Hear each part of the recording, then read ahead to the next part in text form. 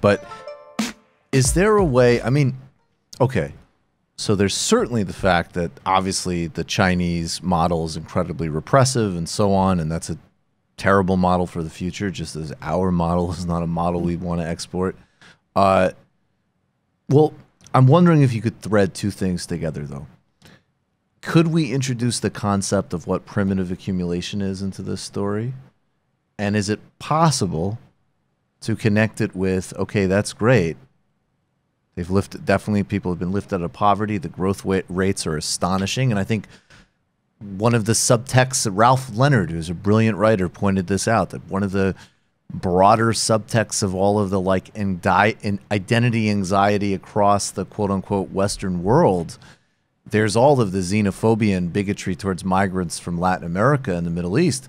But the other subtext that's going on is the fundamental discomfort that the pattern of globalization, it's not just China, that Asia is reasserting a natural role in terms of like, if the world is just sort of normally as you'd expect it to be over long term cycles, uh, you know, from China to India, you're going to talk about an unbelievable amount of economic activity and power. And that is unsettling to a certain part of the Western colonial psyche.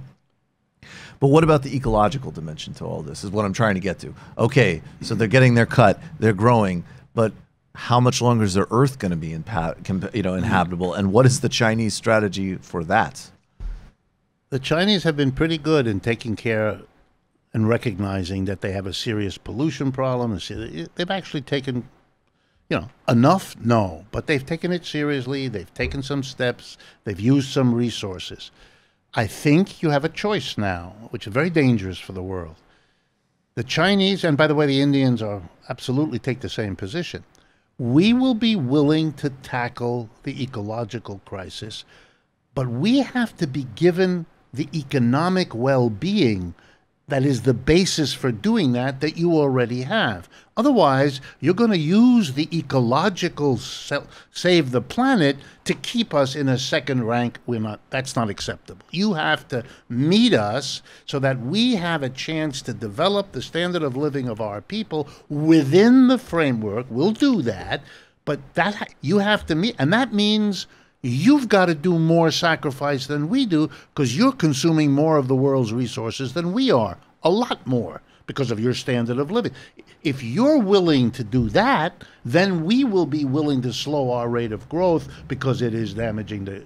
Okay, the Indians say pretty much that. The Chinese say that. It's been the West, by and large, that doesn't want to play that game. That haven't played the game. But is it? I mean, is it specifically though with China? Like when South Africa says that, or Kenya or even India or Brazil. Like, yes, China's getting to the point where maybe they can't say that anymore, yes. just in terms of their objective power. Their objective, the trouble with China is objective, yes, on the macro scale. Yes. But the minute you put in the denominator of the fraction the number of people, the right. per capita is still way below right. what we have here. Right. And they, again, I don't think they're demanding equivalence. I don't even think they say it, but they certainly don't. They don't mean it. But they demand some working out. And there were the beginnings of some kind of pressure on the Indians and the Chinese coming from around the world to compromise on this, and it was making some headway. The, the decision of the United States to withdraw from the Paris Agreement, Trump's one of his earliest uh, temper one transfers. his first big hits. Yeah. Uh, that really was a signal to the Chinese and the Indians and the others oh, oh, we got a different player here. He's not making any deals at all. And that was before the tariff stuff. And today, in the last few days, the, the currency manipulation arguments. This is now a pretty much developed economic warfare that's going on. And people comfort themselves by telling themselves they will eventually come to their senses and cut a deal. And indeed, they might. They might. Certainly is what they ought to do, and there's people on both sides are pushing that. On the other hand, you know, the history of capitalism is the history of these kinds of economic warfares becoming military warfares. And it would be very naive to imagine that there's something going on now that precludes that or prevents that or automatically rules that out. I don't think so. Can I we- think you're building in the direction of people making major miscalculations because they're being boxed in. Mr. Trump, in my opinion, is boxing himself in. I would never do that. He can't. Uh, great job.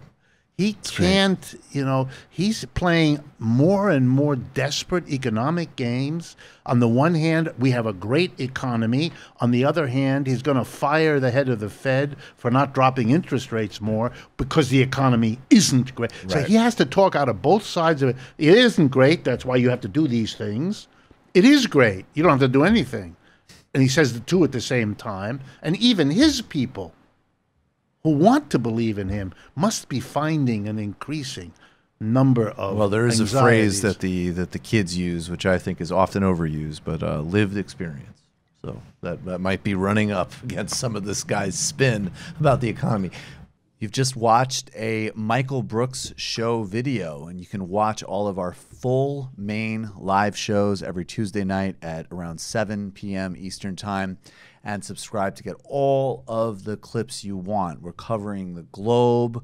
We're focusing on international relations, the intellectual dark web. We're having fun. We're doing deep dives with a lot of amazing guests. Of course, become a patron for the whole thing at patreon.com slash TMBS or subscribe to this YouTube channel and help us keep growing and get that content out there. Subscribe below.